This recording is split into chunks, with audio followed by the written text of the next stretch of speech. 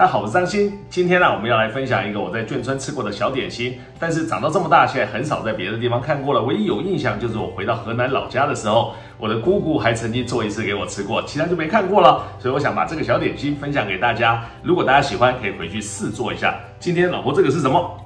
茄子。今天的主角就是茄子。我们今天要来做个清煎茄子。哎，老婆，那我想请问你喽。嗯。台湾茄子的产季是什么时候？嗯。夏天吧，差不多差不多。其实台湾呐，一年四季都有茄子。五月到十一月的时候吃的是麻薯茄子，台湾茄子都是长的，对不对？然后。那个其他时间吃的大概就是屏东二、屏东长茄或者是高雄二号茄子，其实传入中国已经很久了，大概呃五千年前印度就有种植的记录，只是那个时候味道不好，他把它当做观赏用的植物。四五世纪的时候传入中国，在很多文献当中都有记载，所以它的名字很多。隋炀帝把它称之为昆仑紫瓜，你看光听瓜这个那个名字，你就大概知道它应该是属于圆形的。嗯，英文叫什么名字啊，老婆？eggplant，老公，你觉得这种像 egg 吗？不像。所以早期的茄子啊都是圆的。根据记载，是到元代之后才真正根据配种或者是选育出来变成长形的茄子。后来长形的茄子吃起来比较软糯，在中国就整个流行开来。所以到了台湾之后，基本上只有长形的茄子，圆形的茄子和大茄子啊，或者是小茄子。圆茄子基本上是大茄子是出产出口到日本，而小茄子就是东南亚的一些那个。呃，料理要做东南亚料理的时候，会拿这些小茄子来用，其他就很少用了。我们今天要用的就是这个长形的茄子，咱们现在来把它改刀一下，做今天的小点心——青煎茄子。等一下，等一下，等一下，茄子切了就要立刻料理，咱们稍待一会儿，还有个小故事要讲。老婆，你知不知道广东茄子叫什么名字？不晓得。哎，叫矮瓜。苏州，老婆，你在苏州待过一阵子，对不对？那时候做婚纱业，二十多年前，快三十年前了吧？对。你知不知道苏州茄子叫什么名字？不晓得。非常文青风哦，它的名字叫洛苏，洛是掉落的洛，苏是苏联的苏，叫洛苏。嘿，为什么叫洛苏呢？其实它有一个非常有趣的故事，它跟春秋战国时期春秋五霸之一吴王阖闾，老婆，你有没有听过阖闾这个吴王？没有，那你应该听过儿子叫夫差吧？嗯，就是被勾践给干掉的那一个。嗯，嘿，他的爸爸吴王阖闾，那个时候吴国的根据地就在江苏苏州一带，是阖闾把他的都城从无锡迁到现在的苏州。但为什么跟这有关呢？阖闾有三个小孩，一个叫公子波，一个叫公子三，另外一个老二叫做夫差，也就是后来的吴王。而不知道是公子波还是公子三，其中有一个人脚是瘸的。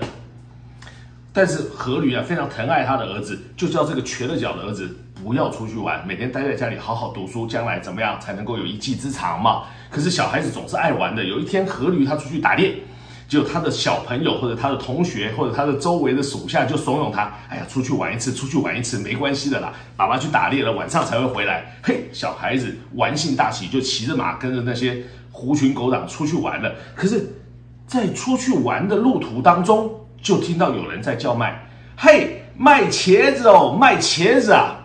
结果他心里听了就不舒服，因为他一只脚是瘸了的，他就听怎么会有人在骂我是个瘸子呢？他就把马拉起来，停在路边看，你在说什么？就我没说什么呀，我就是在卖茄子。结果他自己也知道他自己不对，可是脾气上来了，店人不准给我卖茄子，不准讲这一句话，就。那个人当然小贩吓到了，一群人围着他就不讲了，就骑着马，这一群人又走了。可他看这些人走远了，他又继续叫卖茄子哦，卖茄子哦。结果这个瘸了腿的王子啊，就觉得心情很不爽，他也知道他自己不对，他也就没回过头再来骂他了。可是闷闷不乐，后来就没有出去玩，就回到官邸了。晚上他爸爸打猎回来，爸爸就看他怎么整天闷闷不乐，到底发生了什么事情呢？他就跟他爸爸说：“我今天呢听到有人在卖茄子，我听了心情非常不乐意，也非常不愉快。”他爸爸就跟他说：“没事没事，他卖的是吃的那个茄子哦。那个时候茄子不长这样，那个时候茄子长。”圆圆的卖茄子，并不是骂你瘸子，你不要放在心上。可是看着这小儿子啊，还是心里闷闷不乐。吴王阖闾他晚上就在想，要怎么办呢？这事情要怎么解决呢？可他就叫茄子啊，不然怎么办？后来他晚上看到他的王妃这个帽子上面不是有那个流苏落下来吗？然后上面有结节，他就想，哎，那茄子在野外生长的这样子，就很像这个落下来的流苏，好吧，那就给他个好听的名字。第二天，他就下令吴国境内所有的茄子统统改名叫什么？洛苏。嘿，从那个时候，在江苏一带，所有的茄子就被改名了，叫做洛苏。嘿，这就是苏州叫洛苏的由来。后来，吴王阖闾的墓啊，也被埋在了虎丘。我记得那个时候，老婆，你们那时候那个婚纱一条街，基本上就在苏州的虎丘一带，那里全部都是婚纱嘞，超多的。听说你那个时候到那边还蛮受欢迎的，因为他们觉得我讲话很轻声细语，他们觉得哎，台湾人讲话怎么都这样子吗？可是不是说是吴侬软语吗？啊，他们讲话都比较大声。接下来我们切茄子。因为我们这是长茄子啊，所以我们斜切啦，看起来比较大片一点。嗯，对。好，尽量让它均匀一点，厚度一样，但是我们煎起来啊，就会比较一致。好，咱们切一会儿。不过这个刀不用太快，没有关系，慢慢切就好。因为我们待会儿要裹粉，所以它有没有变色也看不出来。好嘞，刚请我老婆都切好了，现在我们来调点底味，给它撒上一些盐巴。然后撒上一些白胡椒粉，嗯，就是它里面吃起来一个淡淡的咸味，对对对对对，嗯，这样应该感觉不错。不是为了让它出水哈，嗯，把这个把它揉一下。这个我们做完，稍微等个两三分钟，我们就要赶快开始做了，嗯，不然它就出水了，腌掉了。哎，我觉得胡椒粉香味好香哈，这个真的自己磨的很香，就白胡椒粒现磨的，感觉完全不一样。好香，外面其实很多那个营业用的大盒的，他们很多都是调和的胡椒粉，嗯，可能会加一些干燥剂啦。对。对，不一定。好，咱们等个两三分钟就准备上锅。OK，锅子热好了啊，咱们加一点油进来，先不要加太多。嘿。我们先来看一下茄子，嗯，不能太久，你看出水了没有？嗯，有没有？很明显哈。嗯，对。好，出水了。我们现在要做的就是沾面粉，家里有什么粉就沾什么粉，因为刚好有水，所以特别容易沾上面粉。嗯。然后就把它放到蛋黄里面，然后就这样下锅了。哦。有没有？嗯。然后就赶快第二份来了，翻一下。下锅喽，火不要大哈，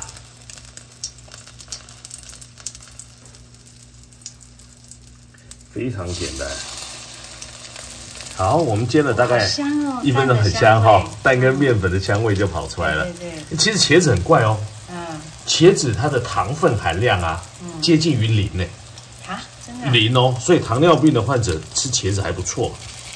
你看这样有没有很好看？嗯。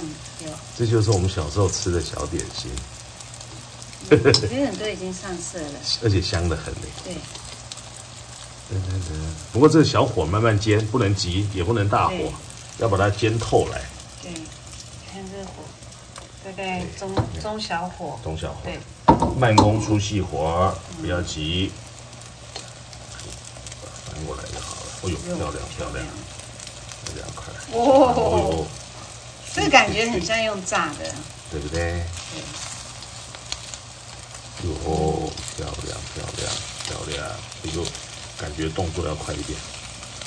嘿。嗯，所以另外一面再给它煎一下。对，好，这样差不多，把它移一个位置。对。再给它煎一下。对，好，再煎一会儿。嗯。大概一共三到五分钟，一定成。OK。好的，漂亮吧？嗯，漂亮这个时候我们就把它一块一块给它夹起来了。嗯，你看翻面也很漂亮。所以现在还没熄火？不用洗，因为待会我们还有一盘要炸，对不对？啊，那我们就先起一锅就好了。起锅。好。